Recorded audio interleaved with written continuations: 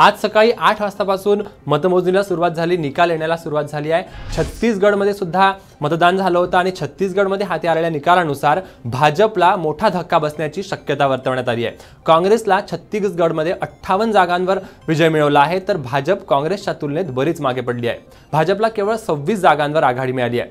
छत्तीसगडमध्ये काँग्रेसला मिळालेल्या यशाच्यानंतर काँग्रेस कार्यकर्त्यांनी मोठा जल्लोष केला आहे. अजित जोगी आणि मायावतींची आघाडी दोन जागांवर पुढे असून अजित जोगींनाही जनतेनं सपशेल नाकारलाय.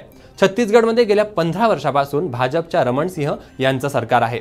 रमणसिंह यांनी सत्ता काळात गोरगरिबांना स्वस्त दरात तांदूळ उपलब्ध करून दिला होता. त्यामुळे जनमानसात त्यांनी चालव त्यामुळे जनमानसात त्यांची चावलवाले बाबा अशी प्रतिमाही तयार झाली होती.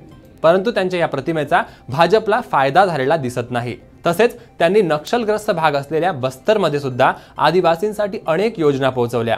अनेक अंमलबजावणी केली परंतु तरीसुद्धा भाजपला जनतेनं झिडकारलं आहे.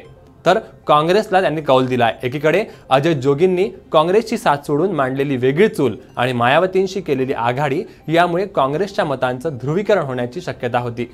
पण अजित जोगी जाऊनही याचा काँग्रेसच्या मतावर काहीही परिणाम झाल्याचं दिसत नाही. उलट काँग्रेसला जनतेनं भरभरून मतं दिली आहेत. विशेष म्हणजे छत्तीसगडमध्ये भाजपला मोठा धक्का बसलाय. मुख्यमंत्री रमण सिंह यांना राजनंदगाव या मतदारसंघात काँग्रेस उमेदवार शुक्ला हे कडवी झुंज देत असतानाही राज्यात भाजपची पिछेहाट झाली आहे. काँग्रेसनं सत्तावन्न जागावर आघाडी घेऊन स्पष्ट बहुमत बहुमत मिळवलं आहे त्यामुळे छत्तीसगडमध्ये काँग्रेस सत्ता स्थापन करणार आहे.